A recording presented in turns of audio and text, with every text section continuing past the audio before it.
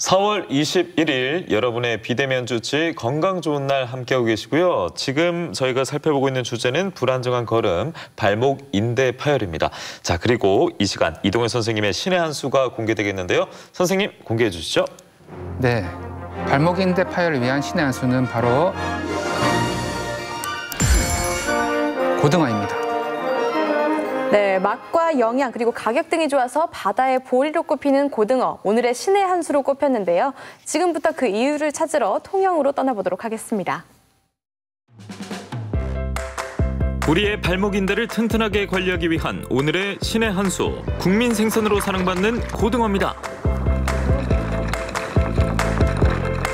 통영 육지도는 우리나라의 고등어의 70% 이상을 양식하고 있고요.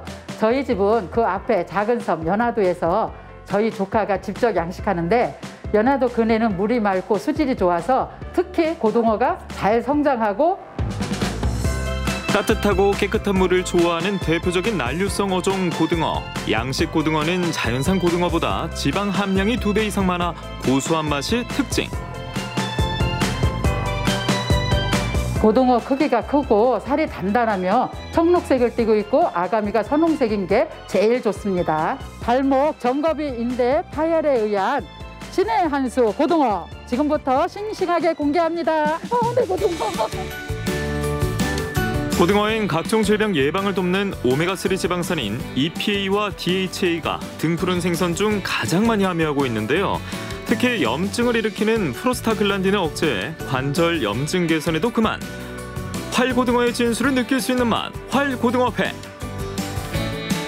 활고등어는 수족관에서 꺼내자마자 피를 빨리 빼는 게 제일 중요하고요. 껍질 제거가 잘 돼야만이 회 맛이 훨씬 좋습니다. 나쁜 콜레스테롤은 줄이고 착한 콜레스테롤은 높여주는 고등어. 싱싱하게 한 입. 고등어를 맛있게 드시려면은 고등어 특수 소스가 있거든요. 간장 소스에다 찍으셔서 김이나 다시마에 얹어서 싸 드시면 최고입니다. 이번엔 국물 요리.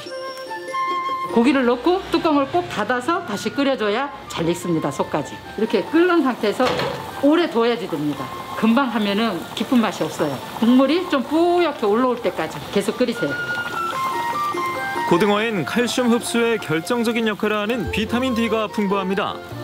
바다처럼 영양을 품은 맛, 활고등어 매운탕.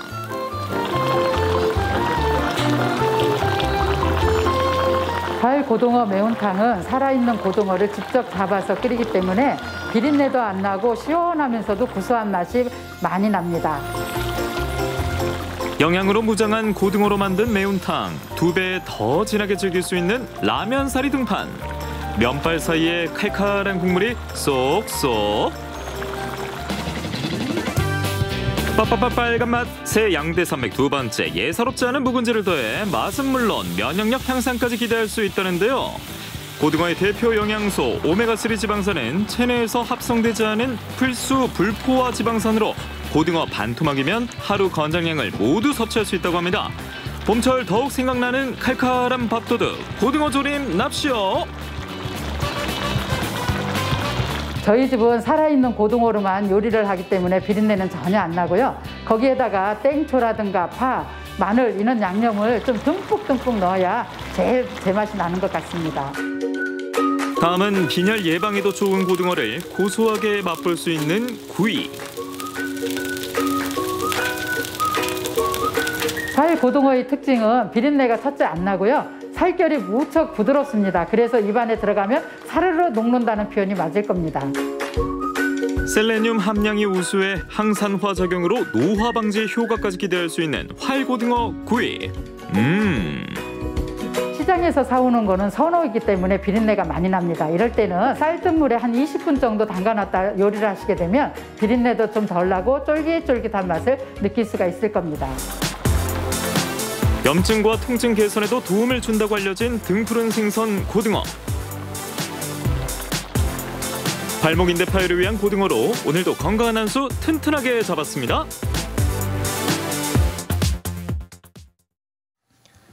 네, 오늘의 신의 한 수는 통영 바다가 선사하는 고등어였습니다. 구이도 좋고 회도 좋고 이 빨간 맛, 탕까지 다양하게 요리할 수 있는 고등어였는데 무엇보다 오늘 주제 질환과 관련된 발목 건강에 도움이 된다고 하니까 발목 아프신 분들은 참고하셔야겠네요. 네, 고등어는 단백질과 오메가3가 많아 인대 재생을 돕고 염증을 가라앉히는 효과가 있어 인대 손상이 있는 환자가 섭취하기에는 좋은 음식입니다.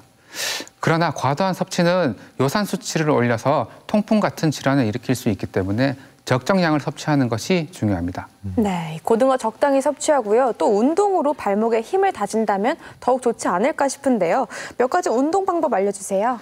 네, 발목 외측인대 강화 운동이 외측인대 파열이, 파열의 예방이나 재활에 도움을 주는데요. 몇 가지 운동을 소개하도록 하겠습니다. 어, 그림을 보시면서 말씀드리겠습니다. 첫 번째로 아킬레스건 신장 운동입니다. 자세는 벽을 보고 서서 어, 두 손을 눈높이까지 올려 벽에 댑니다.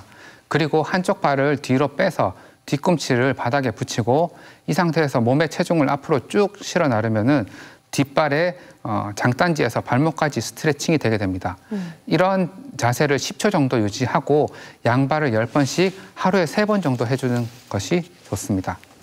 다음에는 고유 수용 감각 재활 운동에 대해서 말씀드리겠습니다. 정면을 바라보고 서서 두 손을 가슴에 모읍니다. 이 상태에서 운동하려는 발로 바닥을 딛고 반대쪽 발을 무릎부터 굽히면서 서서히 90도까지 들어 올립니다. 이 상태에서 10초간 유지를 하고 다시 다리를 바닥까지 서서히 내리는데요. 이 자세가 익숙해졌다면 발목에 있는 발을 까치발을 들고 운동을 해준다면 좀 더 높은 효과를 보실 수 있습니다. 오. 마지막으로 비골건 강화 운동입니다. 의자에 앉아 어, 발 뒤꿈치를 바닥에 대고 편안하게 다리를 쭉 뻗은 후에 세라밴드를 운동하려는 발에 걸어줍니다.